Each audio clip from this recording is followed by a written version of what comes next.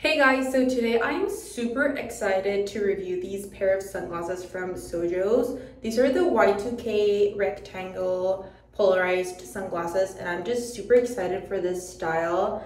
And yeah, I'm just gonna give you guys my honest review on these pairs of sunglasses. So it came in this little box, which is super, super cute and I'm gonna be unboxing it. And I'm super excited for these sunglasses because I feel like the shape is super, super cute. So it comes like this, packed in this little baggie. It comes with like a polarized test, a maintenance card. It also comes with a little case and a cloth, which is super, super nice and cute to protect the sunglasses and to keep them clean. And this is the pair of sunglasses. I'm super excited.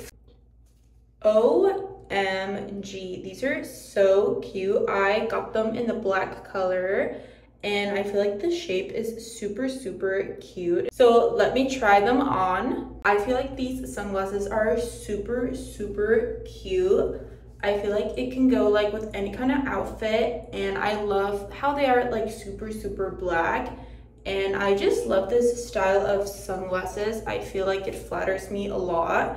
And I love the fact that the sunglasses came with the case and also the little cloth for me to be able to clean my sunglasses. These sunglasses are super high quality, like they don't feel like wobbly or like low quality. And I absolutely loved the sunglasses. I feel like this Y2K style is going to be super flattering for a lot of the different shape sizes and I just absolutely loved these sunglasses. I would definitely recommend them if you were looking for like a classic yet cute pair of sunglasses. So definitely check these sunglasses out from SOJOS. They're super high quality. This style is super, super cute and I absolutely love them.